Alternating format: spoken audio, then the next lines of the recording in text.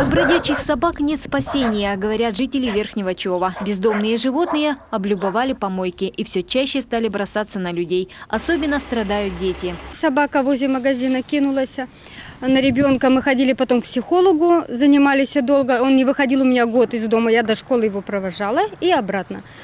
Жители во всем винят приют для бездомных животных «Дрог», мол, оттуда выпускают собак. Слухи не слухи, что вот выпускают даже собак погулять.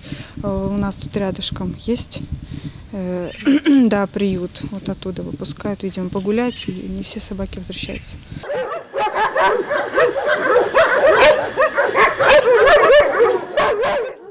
Это питомцы приюта за высоким забором.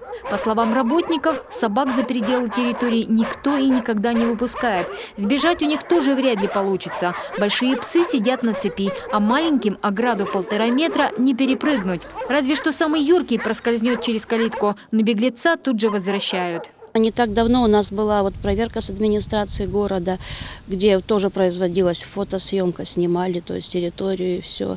Приехали также вот никого не предупредив, то есть именно с проверкой. И результаты проверки показали, что у нас в принципе такого быть не может. Сотрудники приюта убеждены, армия бродячих псов растет совсем по другой причине. Все чаще дачники Сыктывкара оставляют животных на улице. Тот же Верхний Чов приезжает машины и оттуда в буквальном смысле выкидывает собак. Поэтому проблему надо решать не с питомником, а с горожанами. Елена Кононова, Олег Юшков, телеканал Юрган.